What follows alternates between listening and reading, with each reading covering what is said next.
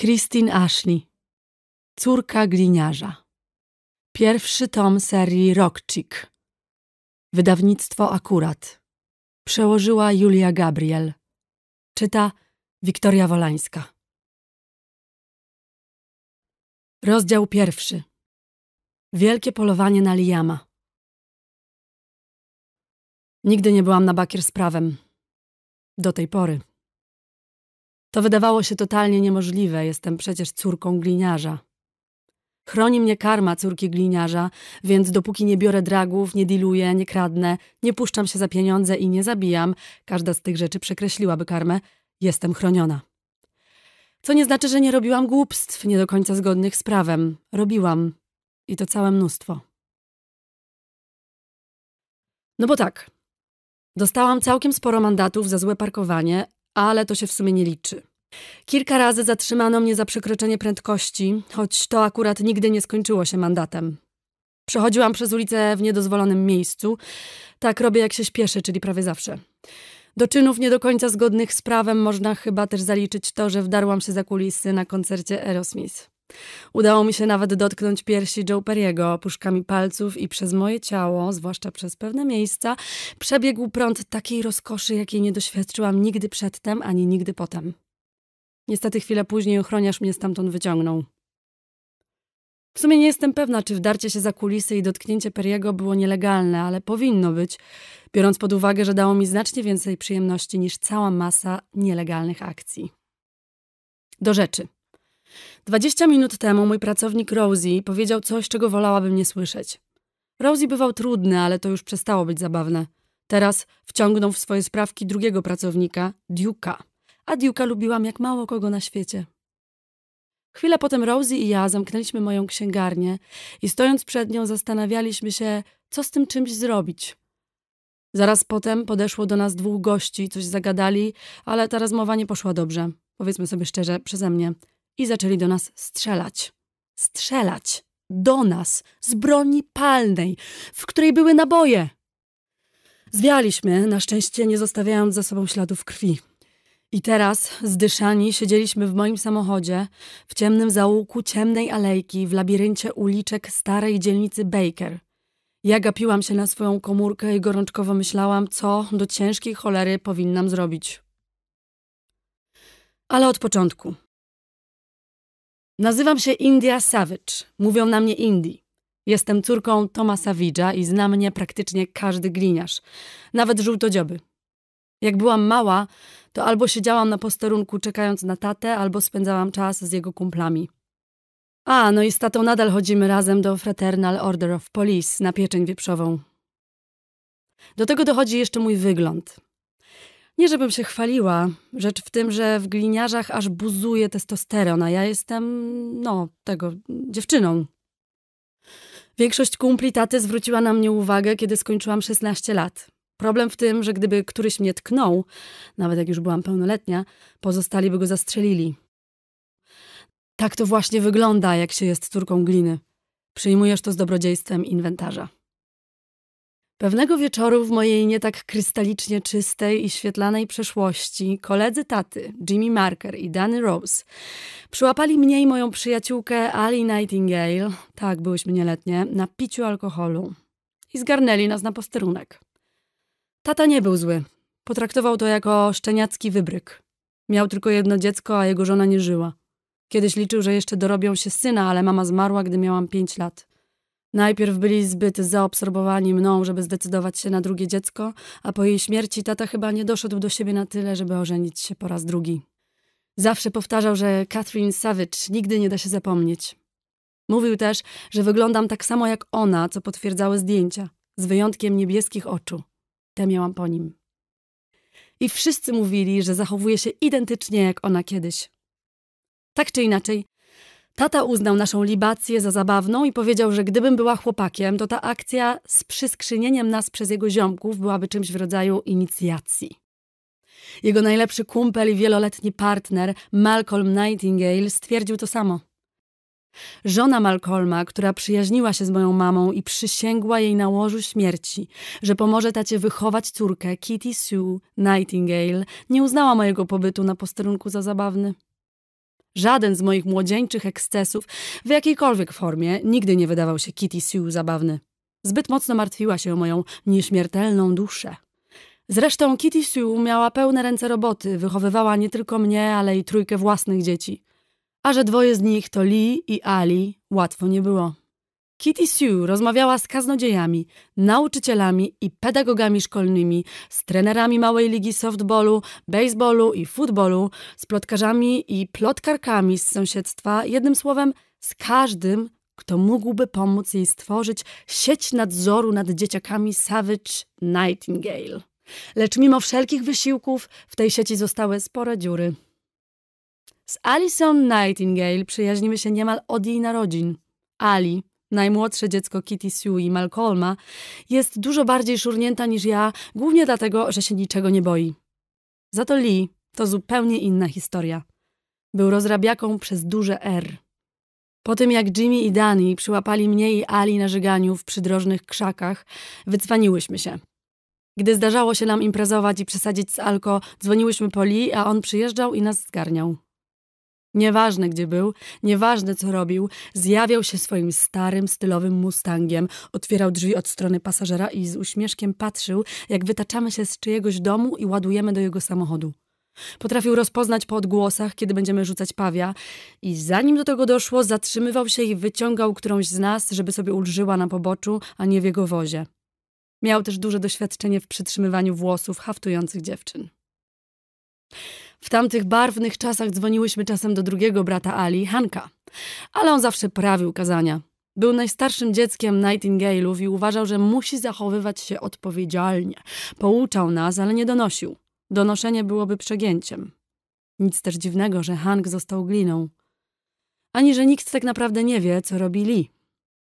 Henry Hank Nightingale był kapitanem drużyny futbolowej. Został królem balu, zdobył tytuł najlepszego sportowca, najbardziej lubianego ucznia, najpiękniejszego uśmiechu i stanowił połówkę najlepszej pary. Miał 1,88 m, uda, którymi mógłby łupać orzechy, niezły tyłek i chyba sporo w rozporku, zabójczy uśmiech, gęste brązowe, lekko falowane włosy i orzechowe oczy. W liceum Hank był dobroduszny, rycerski i miał stałą dziewczynę. Niewiele z tego się do tej pory zmieniło. No tyle, że nie ma dziewczyny. Z kolei Liam Lee Nightingale potrafił spiąć na krótko każdy samochód. Jeździł Mustangiem i motorem. Zaczął palić w wieku 13 lat i podobno mógłby zapłodnić dziewczynę samym tylko spojrzeniem. On również zdobył tytuł najpiękniejszego uśmiechu, miał 1,89 m i sprawiał wrażenie, że spłowiałe dżinsy zaprojektowano specjalnie dla niego. Tak jak brat miał gęste ciemne włosy i czekoladowe oczy z długimi rzęsami. Podobnie też jak Hank był dobroduszny, lecz w zupełnie inny sposób.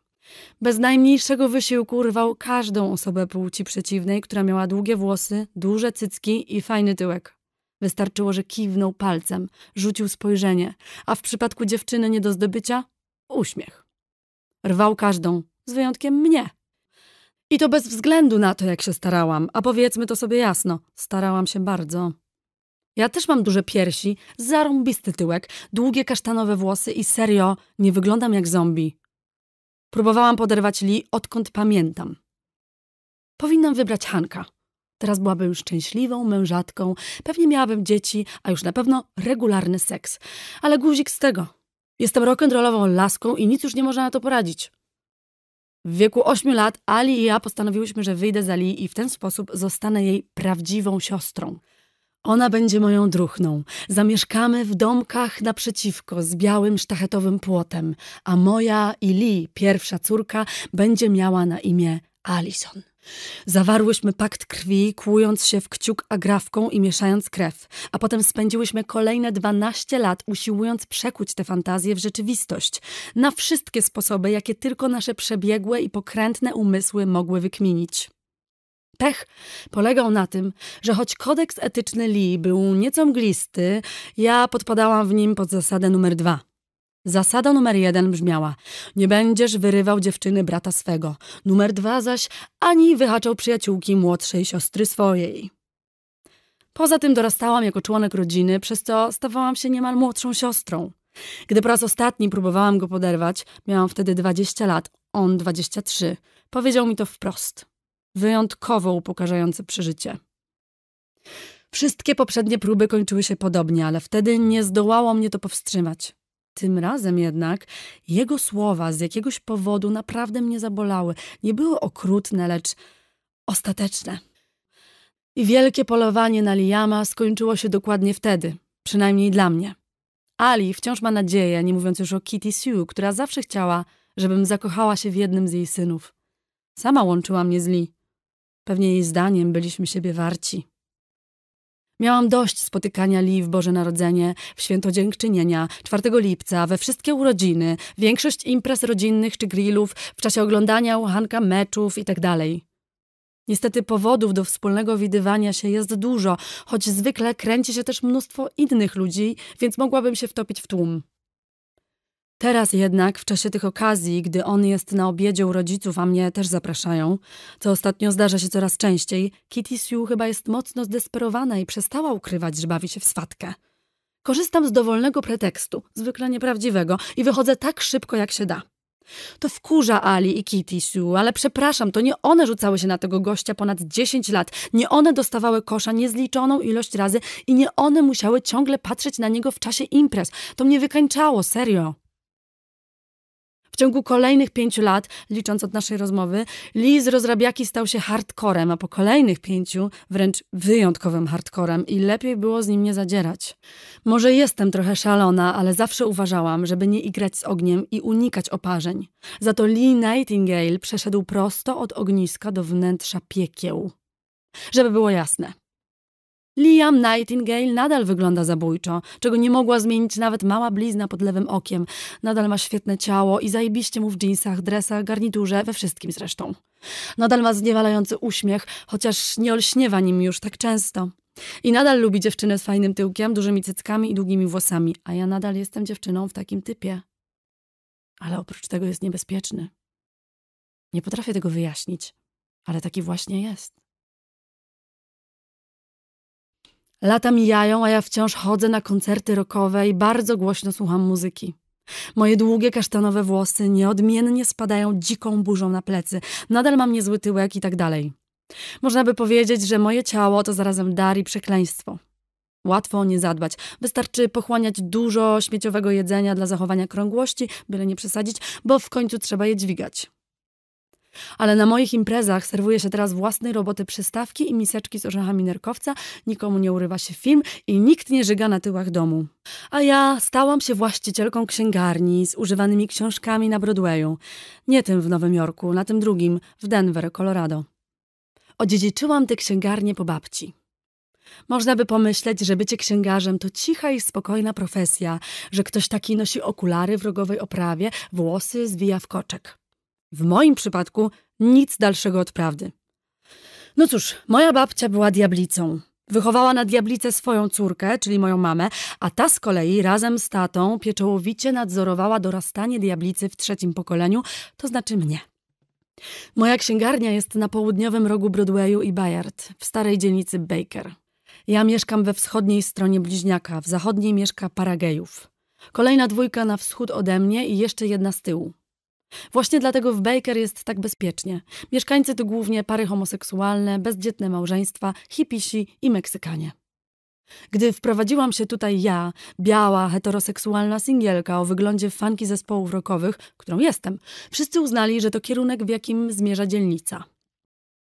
Księgarnia nazywa się Fortnum, a to dlatego, że babcia odwiedziła Fortnum and Mason w Londynie na rok przed otwarciem własnego sklepu z książkami i uważała, że brzmi to bardzo wykwintnie. Może i tak, ale serio, poza nazwą nie ma w niej nic wykwintnego. Za czasów babci było to miejsce spotkań hipisów i w jakimś stopniu zachowało swój wyjątkowy charakter. Wpadali też harlejowcy, nie wiem dlaczego, a teraz przychodzi pełno lalusiów, japiszonów i bezdzietnych małżeństw, silących się na bycie trendy, a także skate'ów i gotów, bo dla nich to jest cool. Mamy tu trochę regałów, każdy z innej parafii, zastawionych używanymi książkami i stoły, na których piętrzą się stosy płyt winylowych. To jak królicza nora zorganizowanego chaosu, gdzie czasem można natrafić na miękkie krzesło. Ludzie zazwyczaj wchodzą, znajdują sobie jakąś książkę, siadają i czytają, a potem wychodzą, nie kupując jej. po to, żeby następnego dnia znowu tu zajrzeć, wziąć książkę i czytać dalej. Razem z księgarnią odziedziczyłam dwóch pracowników babci, którzy, mówiąc dyplomatycznie, są równie ekscentryczni jak ona.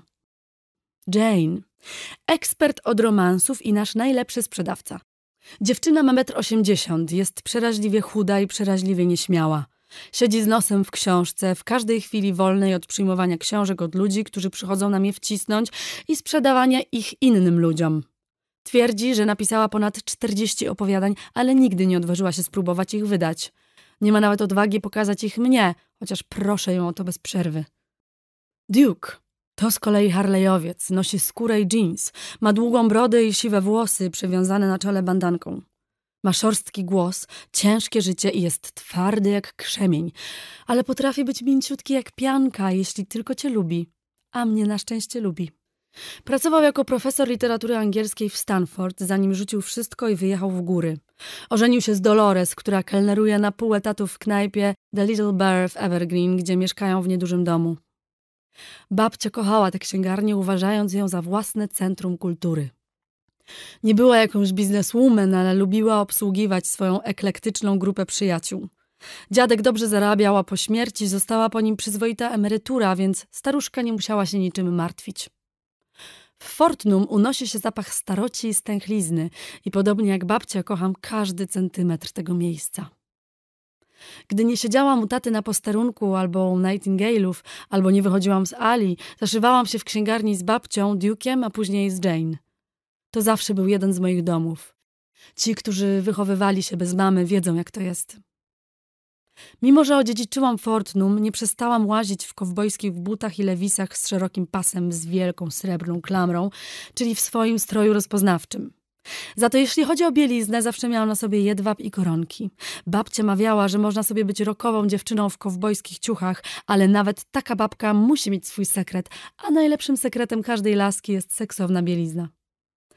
Działam we frontowej części księgarni. Mamy tu kilka wygodnych kanap, foteli i stolików. Zainwestowałam w ekspres do kawy i przejęłam swojego ulubionego baristę, Ambrosa Rosiego Coltrane'a z sieciowej kafejki przy drodze. Rosie jest bogiem kawy. Zwykłą waniliową latę robi tak, że człowiek dostaje orgazmu od samego zapachu. Potrafi być upierdliwy, jest takim kawowym odludkiem. Przychodzi, robi kawę, idzie do domu. Lecz niezaprzeczalnie ma talent. Wprowadzenie kawy do księgarni okazało się hitem. Gdy popłynęło espresso, książki zaczęły się lepiej sprzedawać. Dzięki temu mogłam mieć nowe meble w salonie i szybko rosnącą kolekcję zajebistych pasów i kowbojek. To wszystko przemknęło mi przed oczami. Podobno cała masa rzeczy przelatuje człowiekowi przed oczami, gdy ktoś do niego strzela. Patrzyłam na swoją komórkę, usiłując uspokoić rytm serca i jednocześnie wykombinować, do kogo zadzwonić. Mogłam i pewnie powinnam zadzwonić do taty, Malcolma albo Hanka. Uwzględniając wybór, jaki miałam oraz sytuację, w jakiej się znalazłam, najlepszą opcją byłby Hank. Pewnie dostałby szału na wieść, że ktoś do mnie strzelał i zapewne zgarnąłby Rosiego, ale przynajmniej nie zatłukłby go na miejscu za to, że naraził mnie na niebezpieczeństwo. Hank to oaza spokoju. Właśnie dlatego był świetnym sportowcem, studentem i gliną. Mój ojciec to mój ojciec. Malcolm uważał się za ojca numer dwa, więc pewnie obaj ostro by się nakręcili i zrobili dziką awanturę, która wystraszyłaby Rosiego. A on był artystą. I jako artysta miał delikatną naturę. Łatwo się denerwował. Wystarczyło zamówić dwie kawy naraz, żeby przeszedł mikrozałamanie nerwowe. W sieciowej kawodajni bardzo się męczył, za to księgarnia okazała się niebem.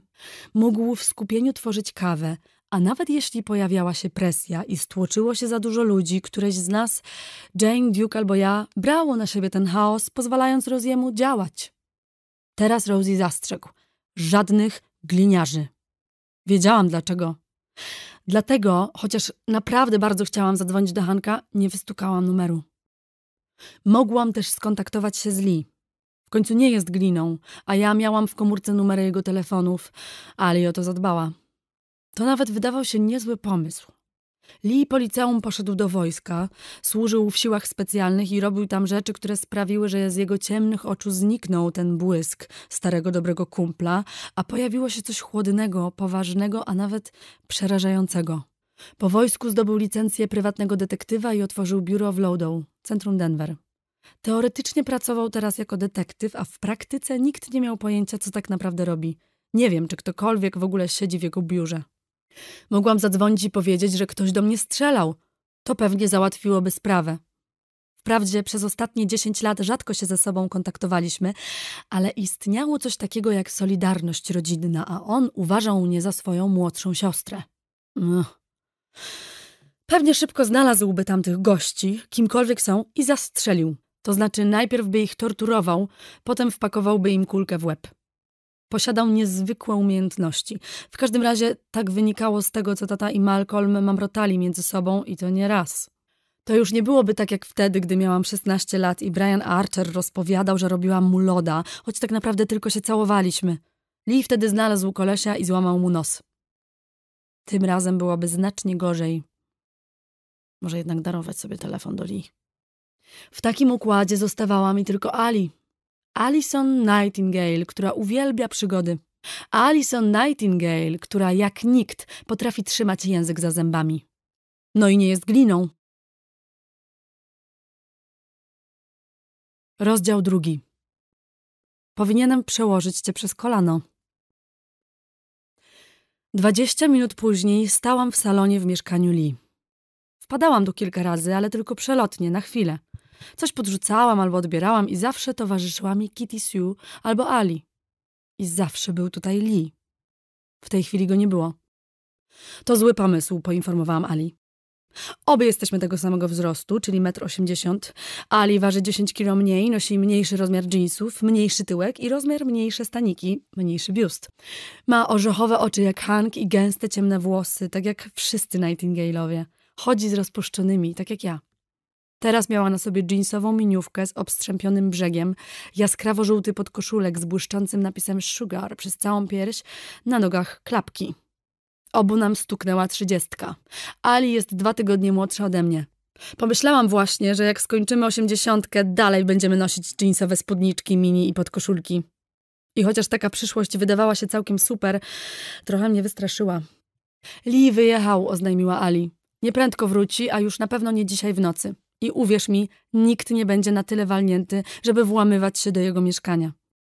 Spojrzałam na Rosiego, zastanawiając się nad jej słowami. Mój barista przechodził akurat etap artysty w kryzysie. Łypał dziko, wyglądał jakby chciał stąd zwiać i trochę działał mi na nerwy. Przez niego prawie mnie zastrzelili, choć w sumie nie jego wina. W końcu nie on do mnie strzelał i nie on pyskował tamtym gościom. Zawsze narobi sobie kłopotów ze swoją niewyparzoną gębą.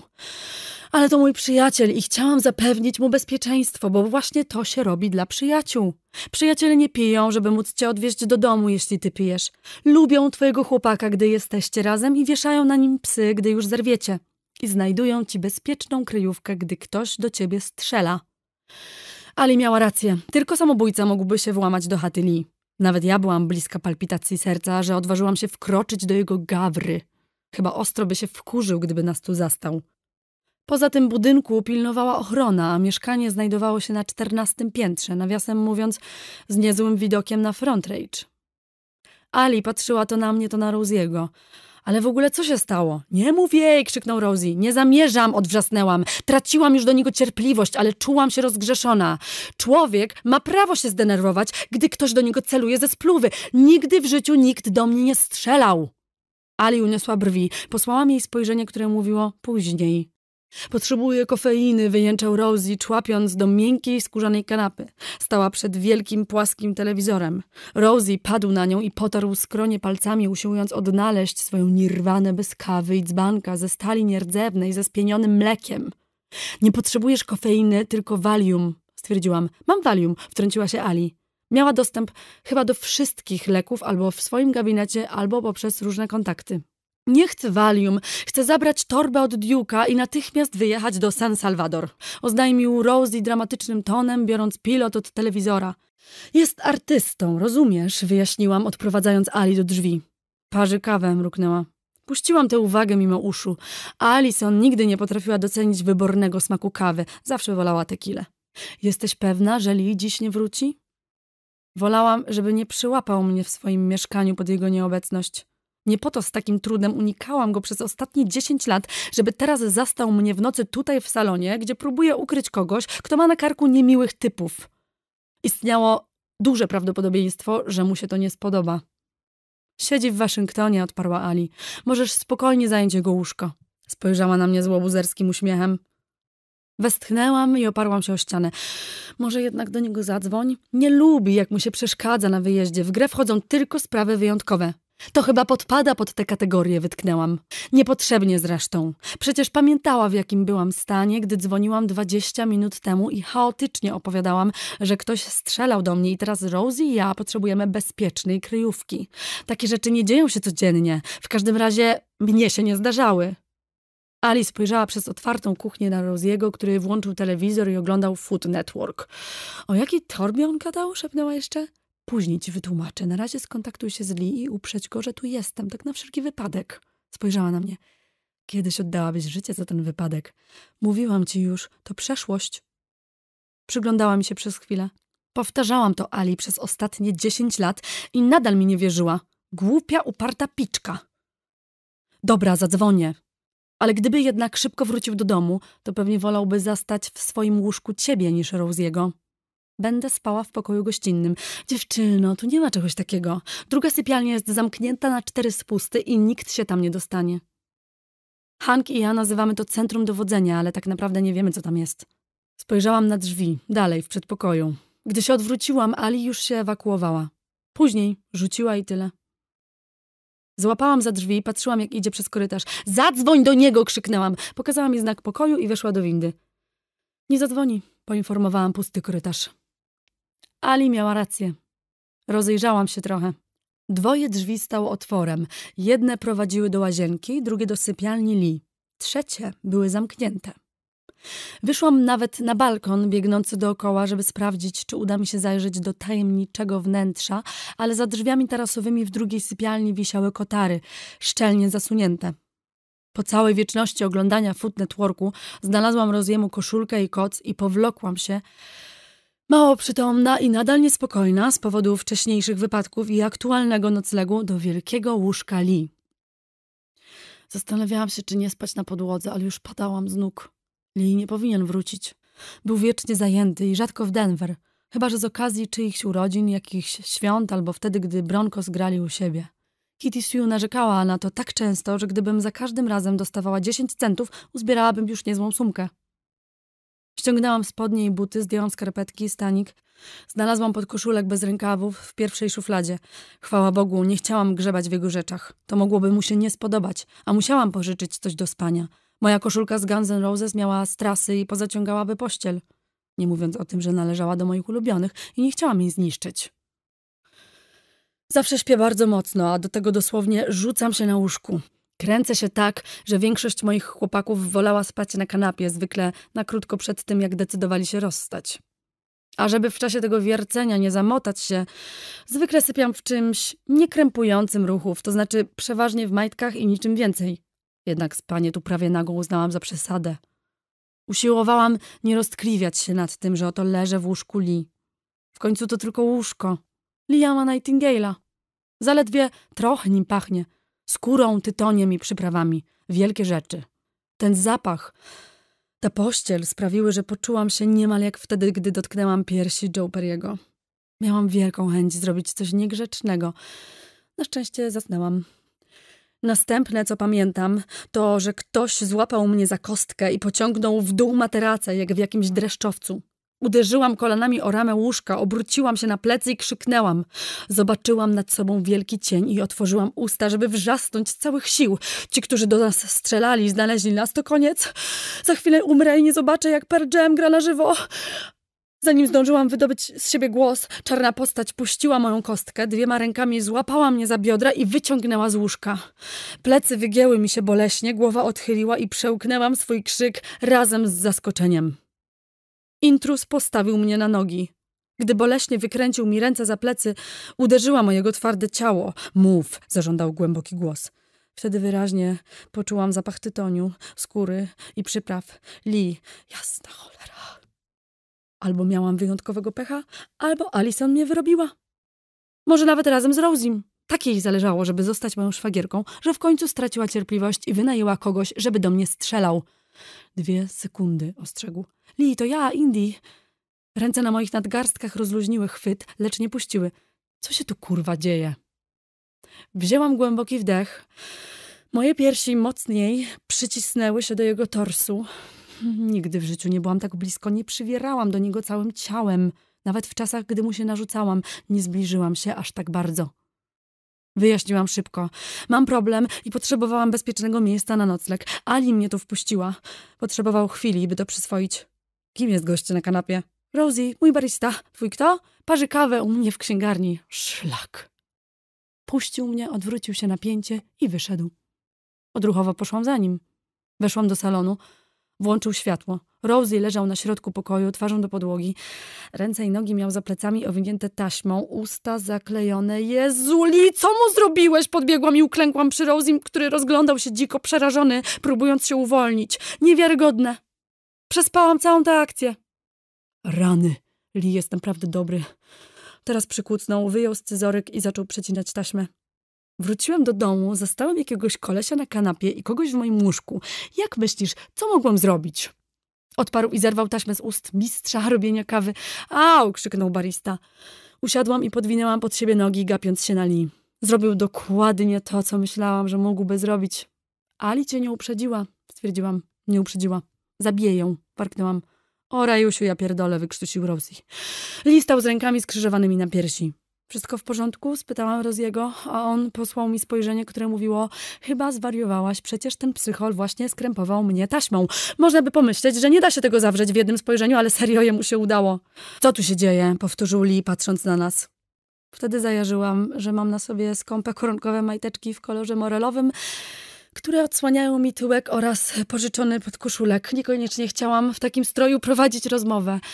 Pójdę się ubrać. Wstałam. Pokręcił głową. Najpierw odpowiesz. Muszę coś na siebie włożyć. Jedyne, co musisz w tej chwili, to wyjaśnić mi, co tu jest, do cholery, grane, odparował Lee. Jego ton nie pozostawiał miejsca na dyskusję. Na twarzy malowała się złość. Tak czy inaczej posłałam mu miażdżące spojrzenie, żeby sobie nie myślał. Ore już ja pierdolę, powtarzał Rosie, odklejając z nadgarstków resztki taśmy. Wzięłam głęboki wdech. Należało czym prędzej wyjaśnić tę sytuację, już choćby po to, żebym mogła wciągnąć na tyłek lewisy. Zwykle bez dżinsów czułam się nago, ale tym razem dosłownie byłam naga. No dobra, sprawa wygląda tak.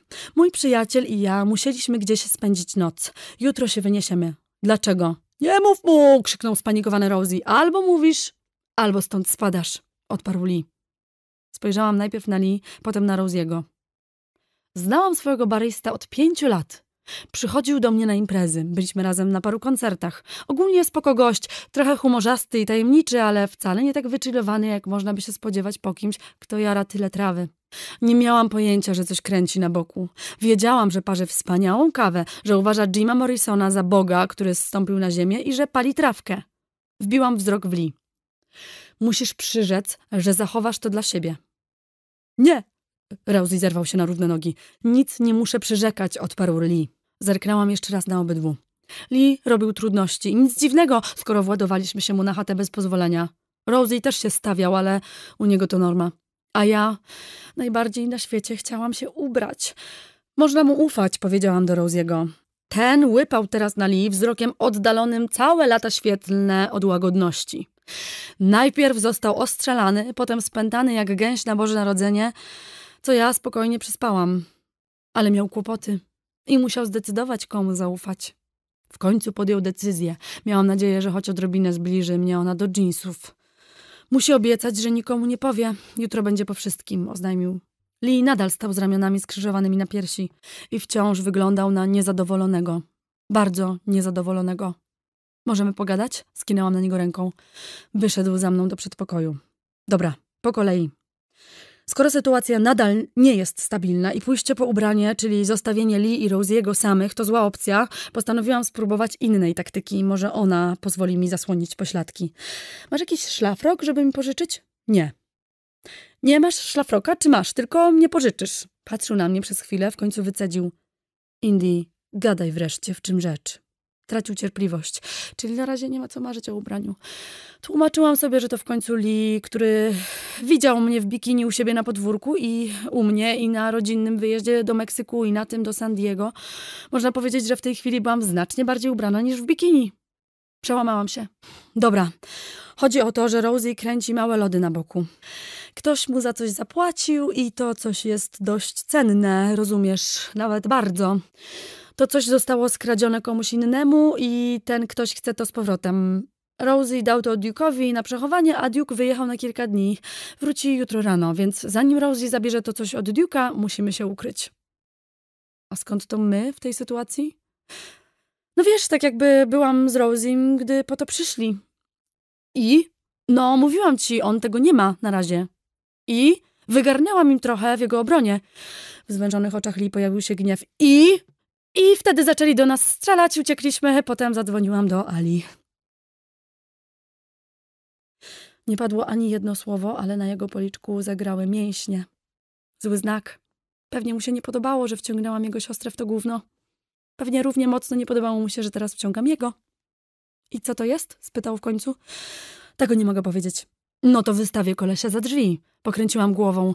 Bardzo mu zależy, żeby nikt nie wiedział.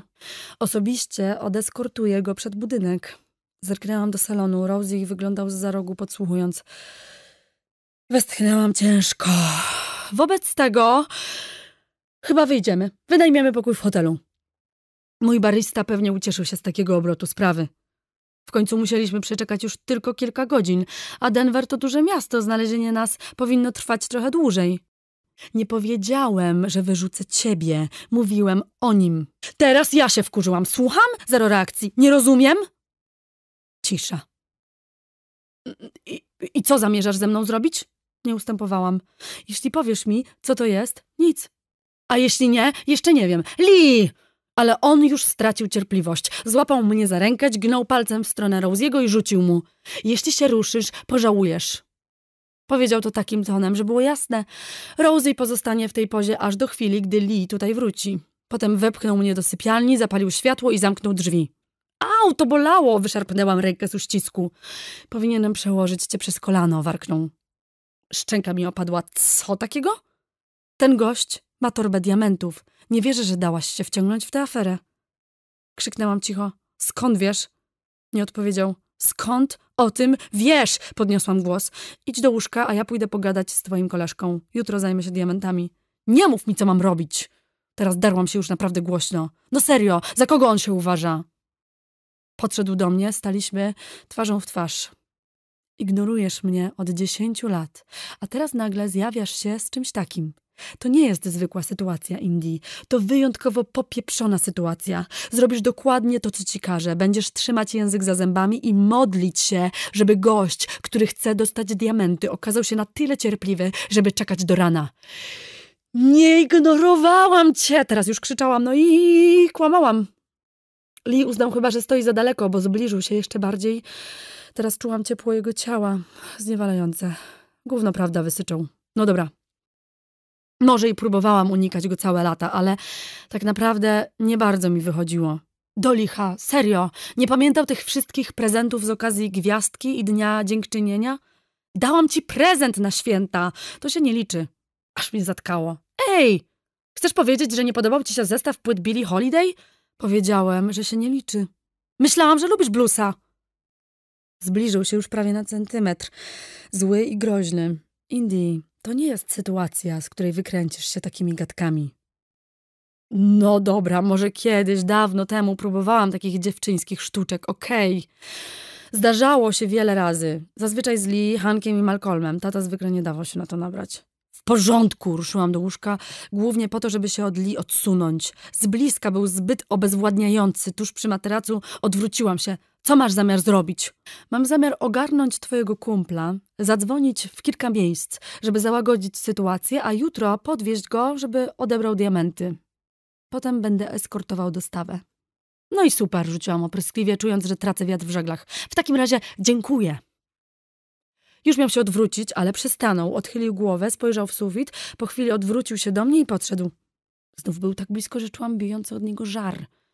Zwykle w takich przypadkach biorę 500 dolarów za godzinę. W jakich? pośredniczenia w nielegalnej transakcji, odparł. Patrzyłam na niego rozszerzonymi oczami. Fiu, fiu, nic dziwnego, że mógł sobie pozwolić na apartament z takim widokiem i biuro w centrum Denver, nie mówiąc już o zarąbistym wozie i motocyklu. Tak? Czemu aż tyle? Stał tak blisko, że widziałam tylko jego. Ponieważ jeśli dzisiaj zadzwonię, wciągnie mnie to w sam środek całego bajzlu i jeśli jutro nie będę miał tych diamentów, zaczną strzelać do mnie, a tego bardzo nie lubię. Pokiwałam głową, zgadzając się z nim w całej rozciągłości. Ja też, to strasznie słabe. Nie ruszył się, zrozumiałam, że czeka na inną odpowiedź. Rosie chyba nie ma takiej forsy, zauważyłam. Nie mógłbyś dać jakiejś, no wiesz, zniżki dla rodziny? Pokręcił głową. Nie jesteśmy rodziną. W sensie od ciebie dla mnie, wyjaśniłam. My też nie jesteśmy rodziną. Jak najbardziej jesteśmy!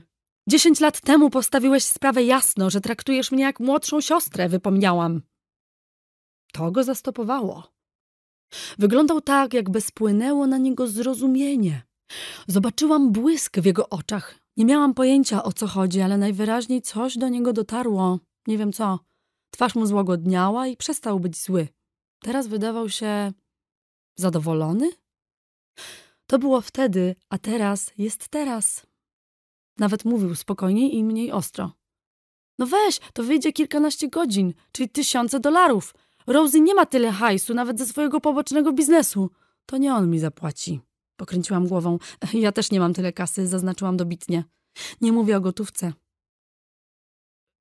Żołądek mi się ścisnął, serce zabiło nierówno. To o czym? Jutro porozmawiamy. Zbył mnie. Porozmawiamy teraz, warknęłam. Kładź się i śpi, polecił. Przestań mną dyrygować! Podszedł bliżej, wstrzymałam oddech. Przysunął się. Teraz nie miałam już ruchu, byłam przyparta do materaca, a nie mówiłam, że to groźny sukinsyn? Idziesz do łóżka, albo cię do niego przywiążę, zagroził. Na jego twarz wrócił tamten wkurzony wyraz. Po błysku w oczach zrozumiałam, że to nie są czcze pogróżki. No dobra, mruknęłam. Ale ze mnie mięczak. Rozdział trzeci. Wybieram bramkę numer dwa. Broniłam się przed zaśnięciem. Chciałam słyszeć, co się będzie działo w salonie, tyle że zmęczenie wzięło górę. Cała ta nerwówka mnie wykończyła. Nie wiem, co tam robili, ale trwało to długo, a ja lubię spać. Gdy się obudziłam, wciąż było ciemno. Moje plecy opierały się o coś twardego i ciepłego, a coś ciężkiego i ciepłego leżało na mojej talii. Lee.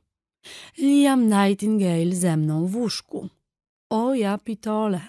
W Denver było mnóstwo kobiet, które zapłaciłyby żywą gotówką, żeby znaleźć się na moim miejscu. Co ja mówię, w całym kraju były takie kobiety. Ale nie ja. Nie ma opcji. To już przeszłość. Jako dzieciaki często spaliśmy razem. Lee, Ali, Hank i ja. Nasi rodzice urządzali wieczorne przyjęcia i pakowali nas do wielkiego łóżka Kitty, Sue i Malcolma. Jedno przy drugim, według wieku.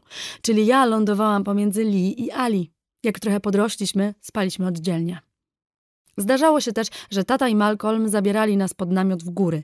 Wtedy zawsze leżałam w śpiworze między Lee i Ali. Ponieważ byłam już nastolatką i coraz mocniej pragnęłam, żeby Lee wyznał mi wreszcie swoją dozgonną miłość, taki nocleg stawał się torturą.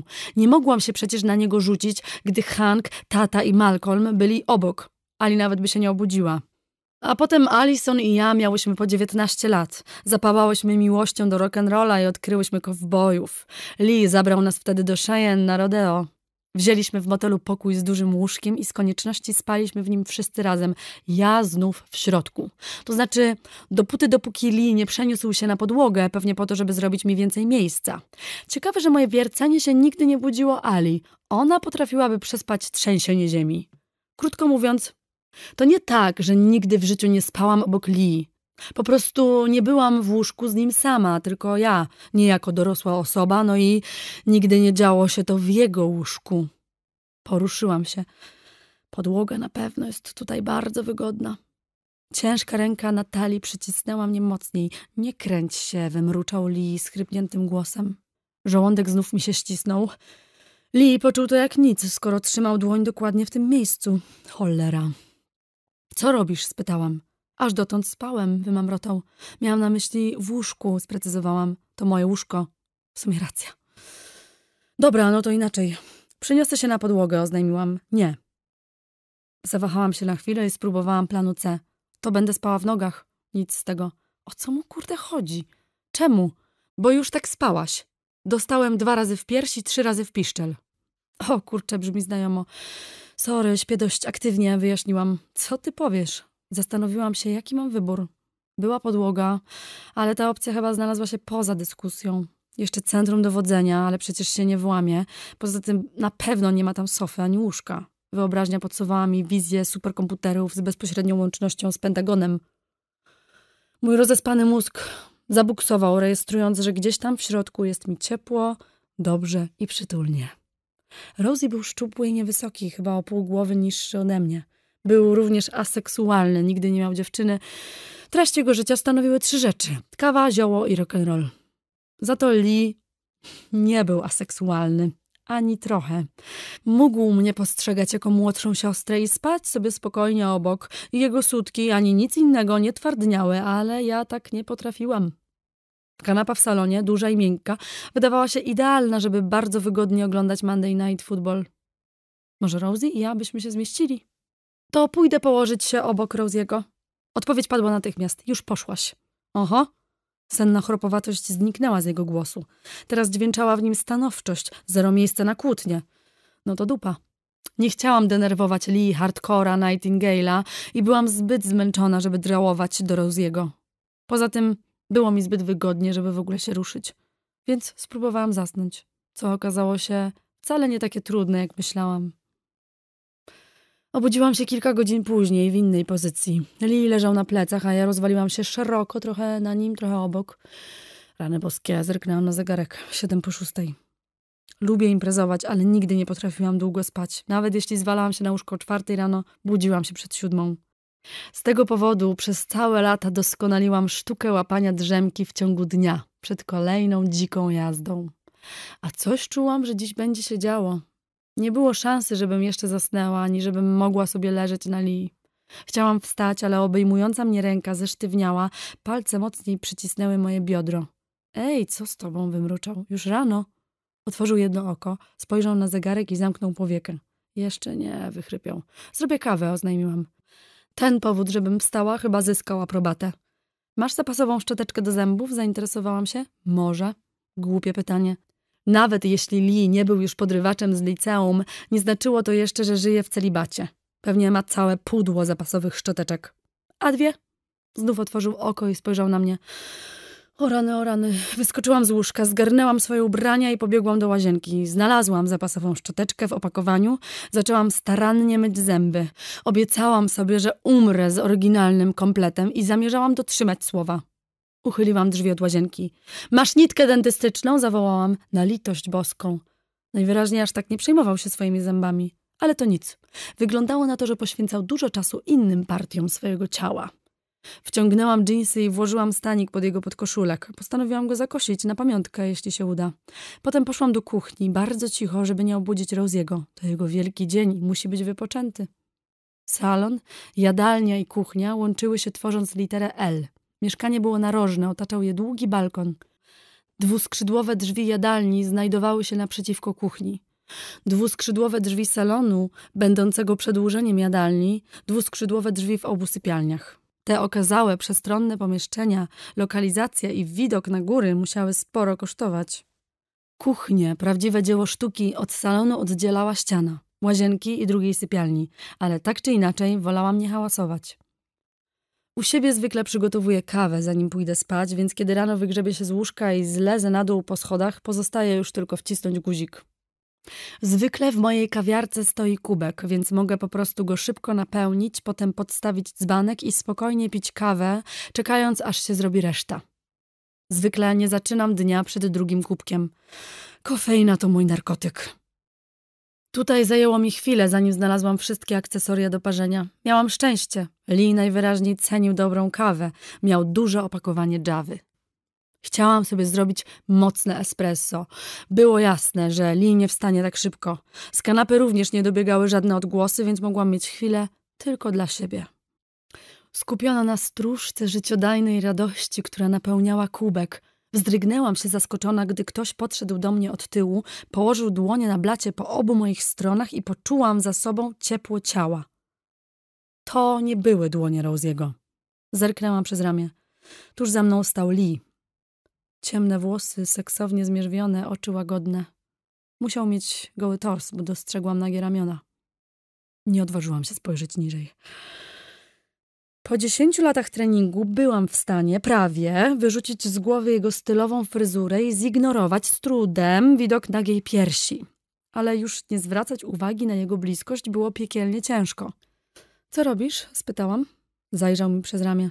Parzysz kawę dla wszystkich, czy tylko dla siebie? Są takie chwile, gdy szczerość jest najlepszym rozwiązaniem, choć w moim życiu nie zdarzają się one zbyt często. Gdy pojawia się jednak niebezpieczeństwo, że mogę zostać pozbawiona pierwszej kawy, natomiast brutalna szczerość może mi ją zapewnić, nie waham się ani chwili. Na razie tylko dla siebie. Odwróciłam się do ekspresu. Uznałam, że chyba nie chcę zdać odpowiedzi na swoje niedawne pytanie. Coś się działo, a ja miałam obniżony poziom kofeiny we krwi, nie mówiąc o braku snu. Nie byłam w stanie wybiegać myślą poza kolejny kwadrans, a już na pewno nie miałam siły rozkminiać, w co Li właśnie sobie pogrywa. Pewnie się mocno wkurzył, że władowałam mu się z problemami w życie i w ramach rewanżu postanowił się nade mną poznęcać. Rozumiem to. Być może zachowałabym się tak samo. Ani drgnęłam, dopóki kubek się nie napełnił. Wtedy ruchem profesjonalisty zastąpiłam go dzbankiem. Już miałam wziąć pierwszy łyk, zastanawiając się, czemu Lee wciąż tak tkwi, gdy właśnie się poruszył. Jego jedna ręka zniknęła z blatu. Sekundy później poczułam, jak zgarnia włosy z mojego lewego ramienia i przekłada na prawe. Drgnęłam, czując tak intymną pieszczotę. Moje ciało zareagowało. Nie zamierzałam tego tłumić. I tak by się nie udało. Tymczasem Lee oparł brodę tam, gdzie przed chwilą były włosy. Przełożył rękę na mój brzuch i przycisnął do siebie. Zastygłam. Musimy porozmawiać, szepnął mi do ucha. Stałam tak. Zesztywniała z uniesionym kubkiem. Nadal nie ogarniałam, czemu to robi. Byłam w szoku. Powiedziałam jedyną rzecz, jaką byłam w stanie z siebie wykrztusić. Potrzebne mi mleko. Nie odsuwając się ode mnie, zabrał lewą rękę. Usłyszałam skrzypnięcie otwieranej lodówki, potem chlupotanie płynu w plastikowym pojemniku, a potem lodówka się zamknęła. Lee postawił mleko przede mną. Jego ręka wróciła na blat, przygważdżając mnie do miejsca. Sprytne. Znowu poczułam skurcz w żołądku. Dziękuję, odparłam uprzejmie, mrugając i zastanawiając się, czy nadal śnie. Wlałam sobie mleka do kawy, starałam się opanować drżenie ciała. Usiłowałam zachować spokój, ale byłam w totalnym szoku. Nigdy wcześniej Lee tak się nie zachowywał. Nigdy! Upiłam łyk kawy, żeby rozbudzić mózg. Zechciałbyś mi wyjaśnić, dlaczego przyciskasz mnie do blatu? Miałam nadzieję, że w moim głosie brzmi dyplomatyczna uprzejmość, a nie histeria Jezu, co tu się dzieje, ale numero matko. To było trudne. Zawsze obok Lee musiałam być czujna i przytomna, żeby się nie zagapić i nie wyznać mu dozgonnej miłości. Znów napiłam się kawy. A teraz byłam obok niego. I to bardzo, bardzo blisko. Robiło się groźnie. Czekając aż kawa zacznie działać, upiłam kolejny łyk i sparzyłam się w język. Auć! Wtedy Lee odwrócił mnie do siebie i przysunął się jeszcze bardziej. Nie wiem, jak mu się to udało.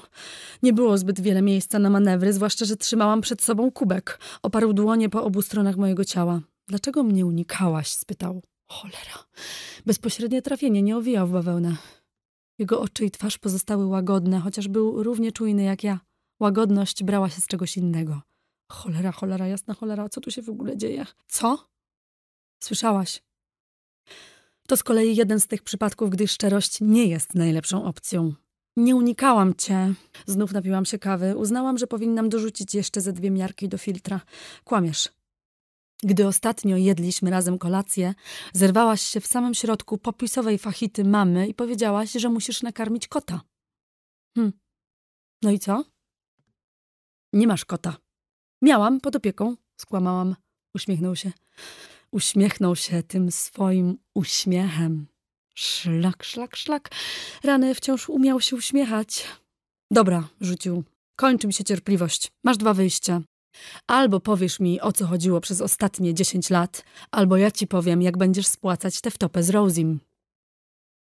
Jest trzecia opcja? Pokręcił głową. Zerknęłam w bok. Przygryzając dolną wargę, zastanawiałam się, jaki mam wybór. Jednocześnie ze wszystkich sił próbowałam wymazać widok twardej, umieśnionej piersi i sześciopaku na jego brzuchu, który zobaczyłam, gdy w chwili słabości pozwoliłam sobie spojrzeć w dół. A, i miał na sobie wyblakłe dżinsy z rozpiętym górnym guzikiem. O mamo. O mamo. No dobra. Pff, skup się. Jak wygląda sytuacja? Po pierwsze, nigdy, przenigdy, nawet za milion lat nie powiem Lee Nightingale'owi, że zakochałam się w nim, gdy miałam pięć lat. Usiadł wtedy obok mnie po pogrzebie mamy i wziął mnie za rękę. Nie przyznam się, że wbił mi nóż prosto w serce, gdy oświadczył, że nie jest mną zainteresowany, bo kumpluje się z jego siostrą. A już na pewno, ale to na pewno nie wyjawię mu, że coś się w nim zmieniło i to coś mnie przeraża.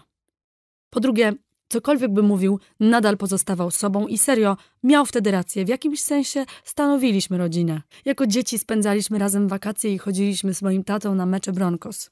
Latem robiliśmy grilla prawie każdej niedzieli, nawet teraz. Kurczę, jest połowa czerwca i robiłam grilla u siebie dwa tygodnie temu i Lee tam był. A zatem, nawet jeśli się zmienił, to wciąż był Lee. Pewnie potrzebuje taniej pokojówki, kogoś, kto mu ogarnie chatę, zrobi pranie, załatwi wymianę oleju w samochodzie. Mogłam w to wejść. Cała ta akcja ze wspólnym spaniem, odgarnianiem mi włosów i szeptaniem do ucha miała mnie po prostu onieśmielić. Pewnie Ali też nie pozwoliłaby mi spać na podłodze czy na kanapie z Rosim. Wybieram bramkę numer dwa, zdecydowałam. Uśmiechnął się jeszcze szerzej i w jego oczach pojawiło się coś, od czego moje dolne partie przeszył dreszcz. O rany, najwyraźniej podjęłam złą decyzję. Miałam nadzieję, że tak powiesz. Drgnęłam. Może powinnam to przemyśleć. Za późno. Zmarszczyłam nos i spojrzałam na niego. A nie możesz być po prostu miłym facetem? Nigdy nie byłem miłym facetem. No, w sumie prawda. Byłeś, odparowałam jednak. Przyjeżdżałeś odebrać z imprezy mnie i Ali, żebyśmy nie wpakowały się w kłopoty. Nie chcę niszczyć ci złudzeń, ale robiłem to z przyczyn rozrywkowych. Po pijaku byłyście mega zabawne. Kiedyś śpiewałaś My Favorite Things całą drogę do domu, zupełnie mieszając słowa. Zapnęłam. A wtedy jak miałam szlaban i wyszłam przez okno, żeby pójść na imprezę do Darren Pilcher i utknęłam między drzewem a domem, przyszedłeś, żeby mnie ściągnąć. Była okazja, żeby zajrzeć ci pod spódnicę. Zatkało mnie z oburzenia. W końcu ciężko westchnęłam. Tylko ja mogłam łazić po drzewach w spódnicy. Nie kłóciłam się dłużej. To, że Lee jest spoko gościem, można było powiedzieć tylko w tym okresie, gdy służył w wojsku. A że wtedy go ignorowałam, zaś większość jego misji była utajniona, nie miałam już żadnych innych przykładów. Zanim się poddałam, znowu napiłam się kawy. Dobra, to co muszę zrobić, żeby spłacić Rosiego? Uprzedzam, nie zamierzam sprzątać twojej łazienki. Jesteś pewna, że to jedyne zastrzeżenie? Przez chwilę zastanawiałam się, co jeszcze mogłabym dodać, potem oznajmił. Czas minął. Pogrywał sobie ze mną i zaczęło mnie to już wkurzać. Na litość boską mów! warknęłam. Ledwie zdążyłam skończyć, zareagował. Bardzo szybko, szybciej niż jakikolwiek inny człowiek, zwłaszcza rano. Wyjął mi kubek z garści, położył ręce na moim tyłku, posadził mnie na blacie i przysunął się, obejmując teraz moje plecy. Nie miałam wyjścia, mogłam albo rozsunąć nogi, albo wbić mu kolana w żebra. Jeszcze mocniej przyciągnął mnie do siebie. Moje dolne partie znalazły się tuż przy jego kroczu. Nachylił się i mnie pocałował. Pocałował po raz pierwszy w życiu. O cholera. O jasna, ciężka cholera. Całował. Wspaniale. Jeden pocałunek zmiótł wspomnienie o dotknięciu Joe Perry'ego, a to coś znaczy. Gdy podniósł głowę, powiedziałam bardzo głośno, zapominając o Rosim, co to ma być? Próbowałam ochłonąć i dojść do siebie. Na razie mogłam jedynie poruszać ustami, reszta mojego ciała była jak z waty. Zaliczka na poczet przyszłych świadczeń, odpowiedział. Zmarszczyłam czoło, a on przyglądał mi się, jakby oceniał reakcję. To mój podkoszulek? Wyjął rękę z za moich pleców i chciał dotknąć materiału niebezpiecznie blisko mojej piersi. Dostał po łapie. Czułam, jak twardnieją mi sutki i dziękowałam Bogu za usztywniony stanik. Tak, twój. To o co chodzi z tą zaliczką? Przesunął dłonią obok mojej piersi, co przyniosło ulgę, ale tylko chwilową, bo zaraz wsunął rękę za moje plecy i znów przyciągnął mnie do siebie. Nie zachowywał się jak starszy brat. W co on gra? I wtedy się dowiedziałam. Jeśli ja załatwię sprawę Roziego, ty pójdziesz ze mną do łóżka. Gapiłam się na niego osłupiała, z otwartymi ustami. Zrozumiałam, w czym rzecz, mimo to uściślił. Ale inaczej niż tej nocy. Oboje położymy się nago i będziemy uprawiać seks. Chyba nie zmieniłam wyrazu twarzy, może tylko szczęka opadła mi jeszcze bardziej. I spodziewam się po tobie współdziałania, mówił dalej. O, ja pierdzielę. Aktywnego współdziałania. Dobry Boże, który jesteś w niebie. W końcu udało mi się wykrztusić. To żart? Pokręcił głową, nadal mnie przeżywając wzrokiem. Spuściłam oczy, nie wytrzymałam tego spojrzenia. Chyba potrzebuję więcej kawy, rzuciłam w przestrzeń. Wsunął dłoń w moje włosy, pociągnął delikatnie, odchylając mi głowę do tyłu. A ja wpadłam na pomysł, który mógł mnie z tego wyciągnąć. Przecież i tak jesteś w to zamieszany. Mówiłeś wczoraj w nocy, że podzwonisz. Pewnie machnąłby ręką, gdyby nie trzymał jej w moich włosach. Znam zasady. Mogę się wycofać jeszcze teraz i Rosie zostanie z tym wszystkim sam. W sumie chyba nie byłoby to takie złe, biorąc pod uwagę, czego chciał w zamian. No i w porządku. Rosie sobie poradzi, ja mu pomogę. Och, musiałby poradzić sobie sam, bo ty się nawet nie zbliżysz do tych gości. Nie istniejesz dla nich i nie chcę, żeby to się zmieniło. W twoim planie jest pewna luka, Lee. Widzieli mnie zeszłej nocy, przypomniałam. Detal. Wyjaśniłam przez telefon, że jesteś moja i dlatego w tym siedzę. Teraz się już nie zbliżą. Jasny gwint. Powiedział o tym obcym ludziom, choć nawet się jeszcze nie zgodziłam. Nie jestem twoja, warknęłam. Dziś w nocy będziesz. Kurwa, kurwa, kurwa mać. Co w niego wstąpiło? Czy znalazłam się w świecie równoległym? Nie możesz tego zrobić. Nie, nie, nie możemy, rzuciłam zapalczywie. Czemu? Był spokojny i wyluzowany. Jedną rękę nadal trzymał w moich włosach, drugą mnie obejmował, trzymając dłoń na talii z taką swobodą, jakbyśmy tak robili każdego ranka przez całe życie. A ja wciskałam dłonie w blat, gotowa wystrzelić przez sufit. Lee nie był po prostu rozrabiaką, hardcorem czy super twardzielem, był totalnym świrem. Myślałam gorączkowo i w końcu coś przyszło mi do głowy. Mało oryginalny ruch, ale zawsze jakiś. Jesteś dla mnie jak starszy brat, ogłuszyłam go. I dlatego próbowałaś wsadzić mi język do gardła, jak miałaś 15 lat? Szlak. I 16? Niech go. I 17? Nie ustępował? Dobra, dobra. Już, Jezu, przerwałam tę paradę wspomnień. Mówiłeś, że traktujesz mnie jak młodszą siostrę. Kłamałem. Otworzyłam szeroko oczy. A, to nowina. Że co? Siedziałem wtedy w jednej sprawie, wyjaśnił. Nie wiedziałam, jak się to skończy i czy wrócę do domu w jednym kawałku, a ty miałaś 20 lat i wieszałaś się na mnie. Ożesz ty w mordę jeża. Wcale się nie wieszałam. Uśmiechnął się bezczelnie. Wieszałaś. Dobra, w porządku, ale nie zamierzałam się do tego przyznawać. Patrzyłam na niego zmrużonymi oczami, a on mówił dalej. Nie chciałam zobowiązań. Nie chciałem myśleć o niczym prócz tego, co miałem zrobić. Nie chciałem się martwić o dziewczynę, którą zostawiam w domu, o to, że pęknie jej serce, jeśli coś mi się stanie. Okej, okay. jest w tym jakiś sens? Ale tego też nie zamierzałam przyznawać. A gdy wróciłem, to już się wycofałaś, miałaś faceta, uznałem, że się ze mnie wyleczyłaś. Nonszalancko wzruszył ramionami, jakby mu to wisiało. Tym mnie wkurzył i to mocno, ale jeszcze nie skończył. Potem ten koleś gdzieś wyparował, a ty nadal robiłaś przede mną uniki. Faceci pojawiali się i znikali. Ostatecznie uznałem, że skoro przedtem nie miałaś problemu, żeby mnie podrywać, to przyjdziesz, jeśli się zdecydujesz. Podniosłam wzrok. Teraz moje oczy ciskały gromy. Arogancki syn! Wytrzymał to spojrzenie. Ale jestem trochę zmęczony czekaniem, a już na pewno defiladą kolejnych gości. Jego głos zabrzmiał ostrzej i groźniej. Na szczęście sprezentowałaś mi tę wspaniałą możliwość. O, prędzej piekło zamarznie. Nie będzie tak, że całe życie trzymał mnie na dystans, a teraz nagle przyciągnie, bo tak mu się spodobało. Ignorowanie cię to wciąż spoko opcja, warknęłam. Kiedy mówił, cofnął się lekko, ale teraz znów znalazł się blisko mnie. Nic z tego, pokręcił głową. Żadnego czekania, żadnych gierek, podchodów i żadnych więcej facetów. Ty tego chcesz, ja tego chcę i dlatego tak się stanie. Wcale nie chcę, palnęłam. Skłamałam w obronie własnej. Lee był aroganckim fiutem, był niebezpieczny. Planował mnie zmusić, żebym się z nim przespała i wykorzystywał do tego trudną sytuację mojego kumpla. Był jak złe wiadomości. Ani mi się śniło być częścią życia Lee Nightingale'a. Pieprzenie zaśmiał się. Chyba myślał, że to zabawne. Wpadłam w szał. Ty zarozumiały? A on znowu mnie pocałował. I cień wspomnienia o Joe Perrym rozpłynął się w niebycie. Oddałam pocałunek. No kurczę, to przecież w końcu Lee. Jego język wsunął się do moich ust, mój do jego, rozchyliłam nogi, a on przysunął się jeszcze bliżej. Obejmował mnie mocno, moje piersi przywarły do jego torsu. Zarzuciłam mu ręce na szyję i przytuliłam się do niego. A on nagle przerwał pocałunek, odwrócił głowę. Całe ciało miał teraz sztywne, napięte, czujne. Z przedpokoju do kuchni weszły Kitty Sue i Ali. Kitty Sue złapała się za serce, a do jej szeroko otwartych oczu, przysięgam, napłynęły łzy. Ali parsknęła śmiechem. Spojrzałam w sufit. Niech to szlak. Rozdział czwarty. Mam cię znów pocałować? Zareagowałam od razu. Zabiję cię, obiecałam Ali. Śmiejąc się, weszła dalej i postawiła na podłodze torbę z moimi ubraniami.